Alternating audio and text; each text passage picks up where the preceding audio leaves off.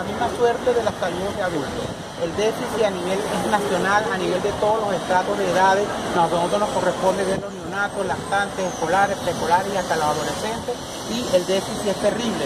Si usted está en casa y usted va a una farmacia, tiene que hacer un diagnóstico para conseguir los medicamentos para aquellas patologías sencillas, agudas, que pueden manejarse en, la casa. Pero cuando van al hospital, específicamente al hospital JM Los Ríos, el déficit es igual. Tenemos un déficit de un 80-90% de insumos médicos y de, y de insumos médico-quirúrgicos y de medicamentos. No hay equipo de rayos X, no hay equipo de tomografía, el resonador magnético se dañó y no hay forma de repararlo, porque no lo quieren reparar, no quieren comprar uno nuevo, no hay rayos X. Teníamos seis máquinas de rayos X, solo funciona una portátil en planta baja donde está terapia intensiva que se compró en 2013.